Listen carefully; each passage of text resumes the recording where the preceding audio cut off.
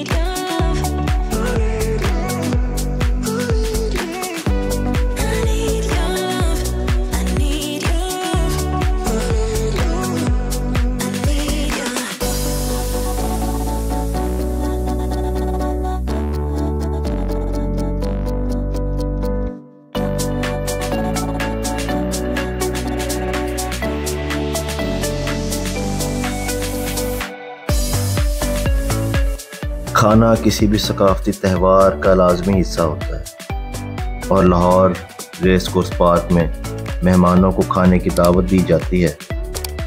मेले के मैदानों में खाने के स्टॉल लगे हुए हैं, जो मुख्तलिफ़ किस्म की रवायती खानों, बल्कि पाकिस्तानी खानों की पेशकश करते हैं।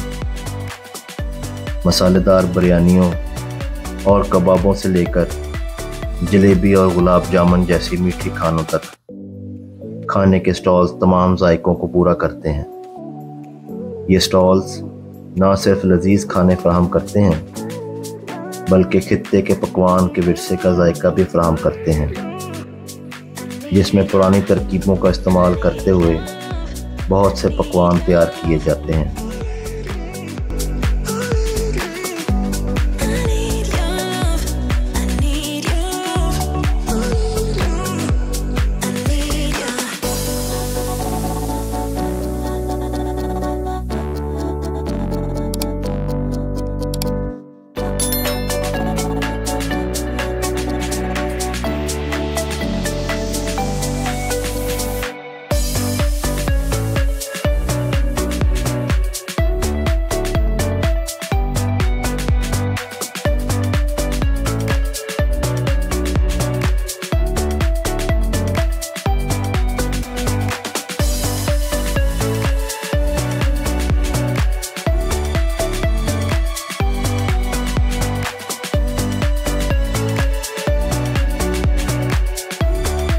पार्क में फ़ूड फेस्टिवल खाना पकाने की लज्जतों का एक मतहरक जश्न है, जो शहर भर से खाने के शौकीन अफराद को अपनी तरफ़ मुतवजा करता है। हर साल मनद होने वाला ये मेला पार्क को एक जाजब नज़र पेश करता है, जहाँ मुख्तलिफ़ किस्म के मकामी और बैन अवी खानों के स्टॉल्स पेश करते हैं। शायकीन का इस्तकबाल करते हुए कबाबों, मसालेदार सालन और ताज़ा पकी हुई रोटियों की खुशबू से पूरा पार्क महसूस होता है। जो इन्हें बेशुमार जायकों को तलाश करने पर आमादा करता है। मरूफ बावरचियों के ज़रिए खाना पकाने के लाइव मुजाहरे और तफरी तजर्बा फ्राहम करते हैं, जो खाना पकाने की रवायती तकनीक और जदीद तरकीबों की नुमाइश पेश करते हैं।